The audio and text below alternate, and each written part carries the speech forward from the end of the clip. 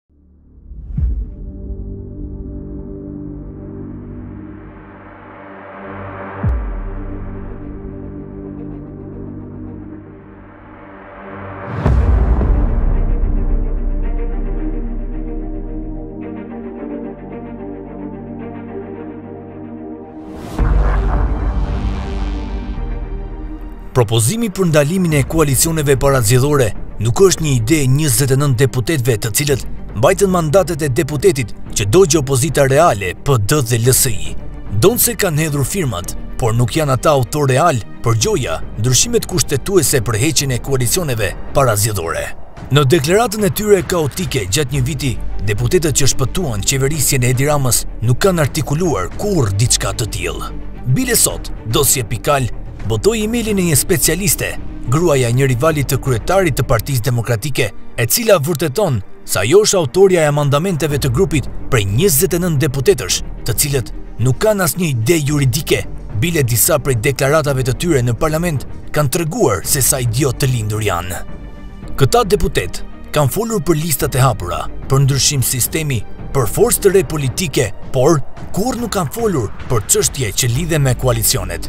Tema e koalicioneve doli në dritë vetëm pasi Partia Socialiste e kuptoi se nuk ka asnjë shans të manipulojë më ndërkombëtarët për krizën dhe u detyrua të firmosë marrëveshje në Ambasadën e Shteteve të Bashkuara të Amerikës në Tiranë. E ndërsa sondazhet tregojnë se koalicioni opozitar fiton ndjeshëm në raport me Partinë Socialiste. Presioni ndërkombëtar, po ashtu dhe sondazhet tregojnë një rilindje e cila po mbytet. E madje në zgjedhje, e madje në zgjedhje kanë sjellë në skemë lojën e koalicioneve.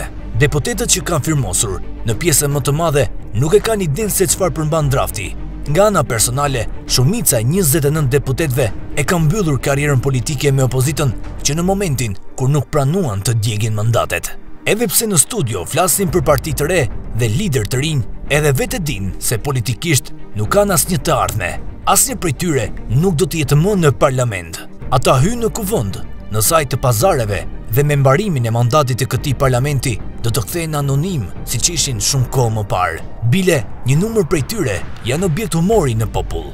Kjo puna e kërkesave për reformën zgjedhore është pazar i fundit që po bëjnë në llogari të Rilindjes.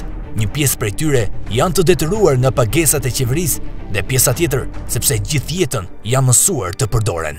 E ndërsa një vit më parë nuk morën vendimin që duhej për të djegur mandatet dhe i hoqën vendit mundësinë për të ndryshuar sistemin, listat e hapura, çdo gjë tjetër për të cilën bërtasin sot. Duke mbajtur Edi Ramën në pushtet, vetëm thelluan krizën dhe keqqeverisjen. Ata sot të ndihen krenarë, se u keqpërdorën dhe janë objekt humori në popull.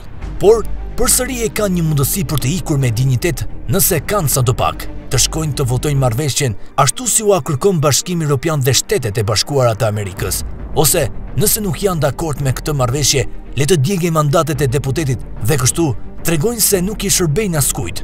Të paktën do të ikin të qetë në shtëpi duke thënë se gabuam, por nuk jemi shërbëtorë të askujt.